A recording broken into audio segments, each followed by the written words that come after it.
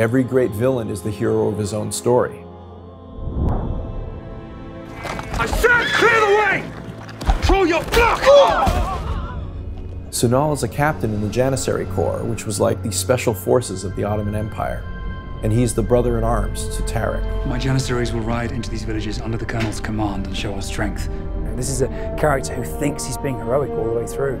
Although he does some bad things, he believes that he's doing what needs to be done to do his job, to protect Tarek.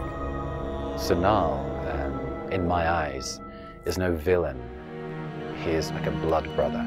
He has a chip on his shoulder about the Greeks. Your thirst for Greek blood is too often exercised for one who carries some of his own, my friend. He is in fact himself half Greek and all he wants to be is Turkish, but he's unable to completely be that. If I cannot purge this contamination from my own veins, then I shall surely do so from theirs. He's conflicted inside, which is fantastic to play. He hates himself, yet he kills all these Greeks. It's a part of him, and he's just struggling so much like with his own identity. It's interesting to have a villain that's dealing with all those things. He goes over the top. You disobeyed my direct orders and slaughtered innocent Greeks. And that's where things really go amiss. But Sunal really believes he is not going too far. He's just doing his job.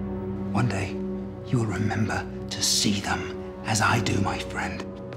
Sunal's actions ultimately lead Christina to swear personal vengeance upon him. I will hunt until it is his blood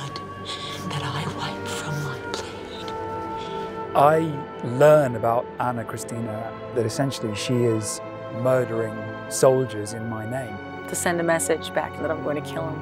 He said what? Well, Captain Sunal, you've made yourself a dangerous enemy.